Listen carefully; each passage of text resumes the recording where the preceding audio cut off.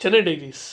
இந்த படம் பற்றி நான் ரொம்ப பேசினது கிடையாது ஆக்சுவலாக என்ன அப்படின்னா நாங்கள் ரெண்டு டெலிஃபிலிம் பண்ணோம். ஒன்று வந்து நிகழ்வுகள்னு ஒன்று பண்ணோம் அப்புறம் வந்து நான்குன்னு ஒன்று பண்ணோம்.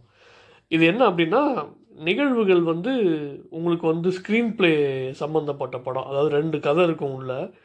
ரெண்டுமே ரொம்ப அழகாக ஒரு ஒரு ஹைப்பர் லிங்க் ஸ்க்ரீன் ப்ளே மாதிரி வந்து ஜாயின் ஆகும் ஒரு இடத்துல.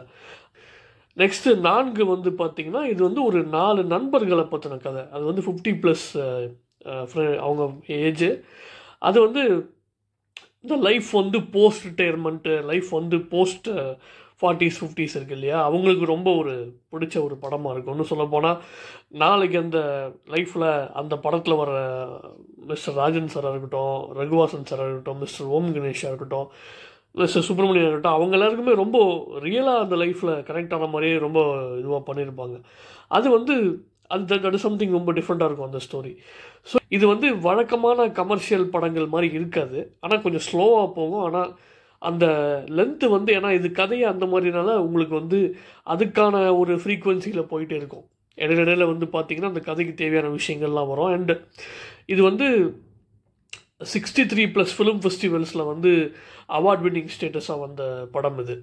சொல்லப்போனால் நூற்றி மூணு நிமிஷம் டியூரேஷனு இப்போ வந்து பார்த்தீங்கன்னா இது வந்து சென்னை டைரிஸ் வந்து உங்களுக்கு ஏகே ஆன்லைன்லேயும் ஸ்ட்ரீம் ஆகுது பிசி நீட்லேயும் ஸ்ட்ரீம் ஆகுது. இந்த படம் completely it's a stand by movie from me ஏன்னா நான் ஃபஸ்ட்டு ஃபஸ்ட்டு பண்ணும்போது எனக்கு என்ன அப்படின்னா கொஞ்சம் லென்த்தாக பண்ணும்போது நமக்கு கொஞ்சம் நம்ம தெரிஞ்ச ஜானர் நமக்கு வந்து கொஞ்சம் நோன் ஜானரில் ட்ரை பண்ணலான்ற மாதிரி நான் முயற்சி பண்ணேன். நம்ம லைஃப்பில் என்ன நடக்குதோ அது அப்படியே லைவாக உங்களுக்கு வந்து போர்ட்ரே பண்ணுற மாதிரி தான் இருக்கும். ஆனால் ரொம்ப பாசிட்டிவாக இருக்கும். No negativity it belongs to all இது சொல்ல போனால் திரு திருக்குறள் மாதிரி தான். திருக்குறள் தான் இதோட இதோட கான்செப்டே அன்பிற்கும் உண்டோ அடைக்கும் தாழ் ஆழ்வழர் புன்கணீர் பூசல் தரும். அதுதான் அந்த முதல் படம். ரெண்டாவது வந்து பார்த்திங்க அப்படின்னா ஈகைன்னு சொல்லி ஒரு விஷயம் வந்து திருவள்ளுவர் ஐயா சொல்லியிருப்பாங்க.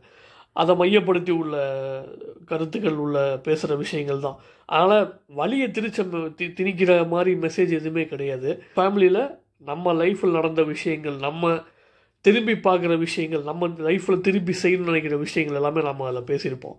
அதனால் பாருங்கள் உங்கள் ஃபேமிலியோடு பார்க்கலாம். நோ ஒரு மாதிரி வல்கரான சீன்ஸ் கிடையாது டபுள் மீனிங் டைலாக்ஸ் கிடையாது. ஃபேமிலியோடு உட்காந்து பார்க்கலாம். தைரியமாக உட்காந்து நீங்கள் வந்து இது பண்ணி பார்க்கலாம். பார்த்துட்டு உங்கள் ஃபீட்பேக் எனக்கு கண்டிப்பாக சொல்லுங்கள் looking forward for all of you feedbacks for Chennai diaries thank you